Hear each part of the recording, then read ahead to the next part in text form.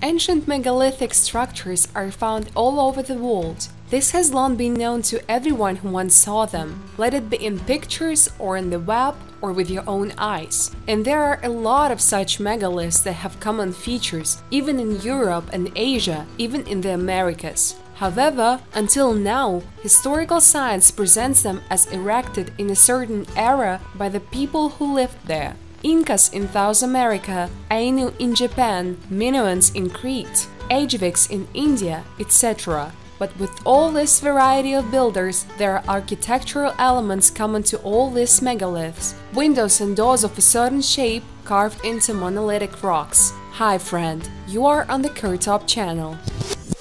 Oldest shark attack victim Sharks do not attack people as often as it's shown in films, but sometimes it does happen, and most importantly, albeit occasionally, but sharks always attacked people. This is confirmed by the bones of 3000 years ago. The skeleton was found at the Tsukumo Shell excavation site, near the inland sea of Japan in the early 20th century. But then the researchers failed to explain the bone injuries, and these bones, Tsukumo 24, were rediscovered by archaeologists from the University of Oxford, Great Britain, who study cruelty in prehistoric Japan. In total, scientists have counted on the bones at least 790 deep marks with jagged edges, most of them were on the arms, legs and chest. The skeleton was missing a left hand and right leg. At the same time, the left leg was placed in the grave over the body but in the opposite direction with the foot to the body. At the same time, there are no traces of healing on the traces. The number of injuries was staggering, but the man was buried in the cemetery. At that time, the locals were still using stone tools. The footprints on the bone did not resemble the marks of stone tools or the teeth marks of local predators and scavengers. Unfortunately, the tracks are superimposed on each other, so it is impossible to determine the exact shape of the jaw and then the specific type of shark. Scientists have studied the skeleton itself. This was a young man who lived between 1310 1010 BC. Judging by the fact that the shark's teeth left marks on the bones, the arteries were also severed. The man died very quickly.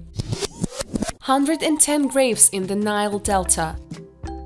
The Egyptian Ministry of Antiquities told about a new find made at the archaeological site at Kum al-Kulgan in Dakhlia province, about 150 kilometers northeast of Cairo. Archaeologists have unearthed 110 tombs, some have preserved human remains. 68 tombs of this number belong to the pre-dynastic period of the civilization of Lower Egypt, which spans 6000 3150 BC. These are oval-shaped pits carved into the sandstone. The people buried in them were located mainly on the left side with bent knees. Their head was facing west. The burial of a child in a ceramic vessel was also found here. The 37 rectangular tombs date from the ancient era known as the Second Intermediate Period when the Hyksos ruled ancient Egypt. The depth of the burial pits is 20-85 centimeters and the bodies in them were laid in the extended position, face up but also in a westerly direction. Children who died during this period were buried in coffins or clay vessels, and five more oval tombs are evidence of the culture of Nagada III. Pottery, amulets, jewelry, and other interesting artifacts were found in these and other graves. Little known Inca fortress in Peru in Peru, next to the southern plateau of the Sacred Valley, near the Four Lakes region, is a Vacra Inca fortress. The complex is located in the province of Acomaya Cusco. In the Quechua language, Vacra means Vacra is the horn and Pucara is the equivalent of strength, fortress of the horn. Looking at this place, the name of the fortress is more than eloquent, but the shepherds of the communities of Aco, south of the city of Cusco, also known him as Lama Pucara. These are not horns, they assure, but the ears of a llama, which is wary of the presence of strangers. Despite the almost inaccessible location of the fortress, at the top of the peak above the abysses that overlook the Apurimac River Canyon and are at an altitude of more than 4,000 meters above sea level, at least four ancient roads lead to this place. The best preserved stone walls with fine carvings, stairs, terraces, and rooms in the best classical Inca style. Unfortunately, the remoteness of this magnificent architectural complex makes it less famous than other monuments such as Sacsayhuaman, Ollantaytambo, and others. The fortress itself is located in an altitude of 4,300 meters above sea level. It rises above eight wall terraces and stone stairs. The architectural complex offers a magnificent view of the Apurimac River Valley. Pucara is located in the distance and to get to it, you need to spend 5-6 hours on the road, half of them on foot. The architecture of Pucara combines masonry and natural formations and in this way resembles Machu Picchu. The fortress itself consists of two groups of architectural structures. The Pucara fortress has a certain stealthiness and in addition to its defensive function, it may have been a refuge and an astronomical observatory. There is also a version that this architectural complex was associated with rituals for the development of agricultural activities and astronomical observations. This version is supported by the fact that the structures of this place are oriented towards the sunrise.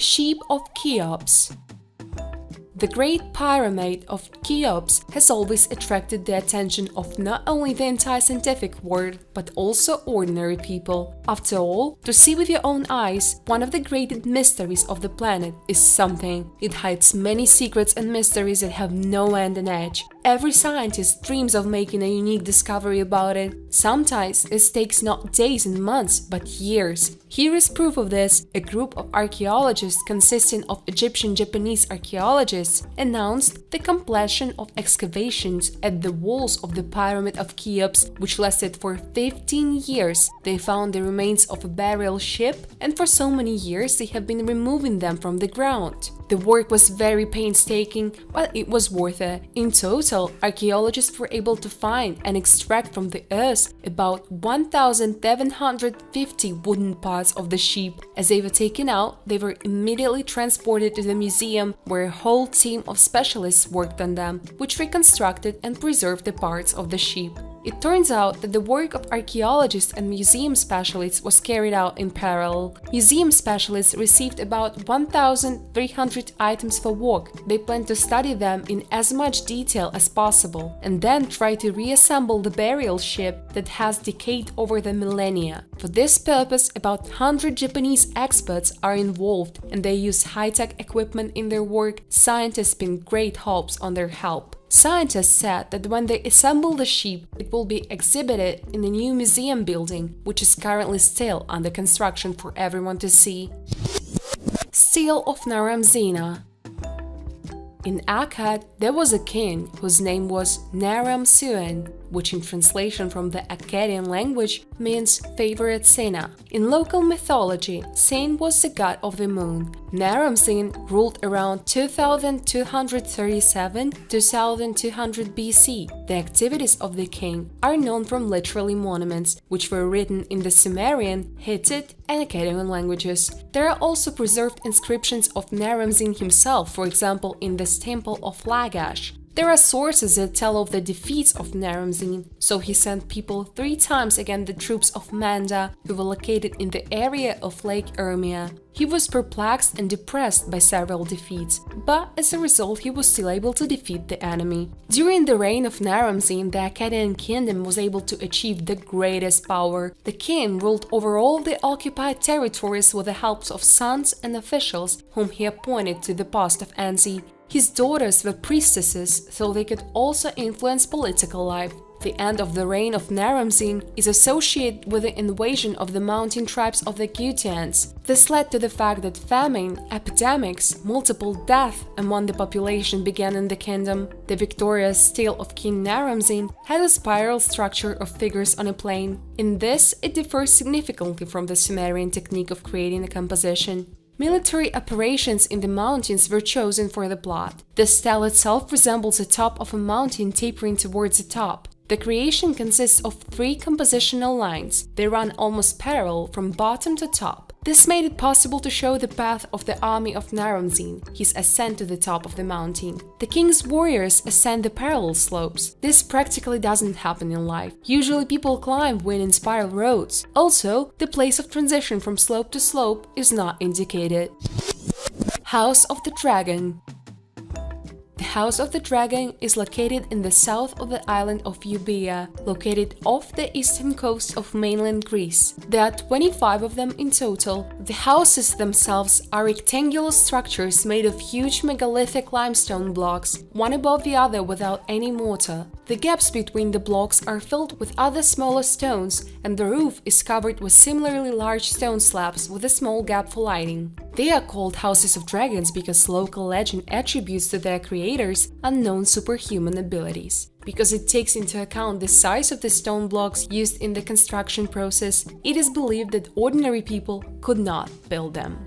The mysterious dragon houses on Mount Ochi are located at an altitude of 1,386 meters and have an average size of 12.7 by 7.7 meters with a door in the center of the southern wall which is 2 meters high and 1 meter wide protruding over her. There are even small windows on the sides of the door. The walls have an average thickness of 1.4 meters, suitable for supporting a heavy stone roof, and the interior rises to an average height of about 2.4 meters. The building area is 48 meters square and the entire floor is covered with some stone slabs. According to experts, the three dragon houses in Palilaka are very similar in size to the houses of Mount Ochi, but their walls are thinner, on average only 1.1 meter. The stone blocks used are also smaller, and the style of construction is rougher, less complex, and possibly more ancient. The houses were first described in the late 18th century by the British geologist John Hawkins, who climbed Mount Ochi on October 21, 1797. However, there is still no exact dating of these buildings. Some scholars believe that they can be dated back to the 7th century BC, as they are the forerunners of the later Greek temples. Others consider them defensive structures of the Hellenistic period, 3rd 4th century BC. However, experts cannot come to a consensus regarding their dating, and the lack of quarries from where the blocks were mined makes it difficult for them to walk. The one strange thing is that, despite their supermassive size and complex structural elements, there is absolutely no mention of these buildings in ancient sources. Therefore, all available information is obtained from the legends and folklore of the area where they were built, as well as information from researchers who visited these structures at a later time. In general, everything is as usual. No one knows anything, but scientists do not believe local legends because they tell about builders with superhuman abilities, but it seems to me that they were built by an older, highly developed civilization and left such traces of its existence in Greece, and it is quite possible that these are just houses and not observatories at all. Rate the video with your like and subscribe to the channel. Also, don't forget to press the bell to be the first to know when the new videos are released. Thanks for your views, bye everyone!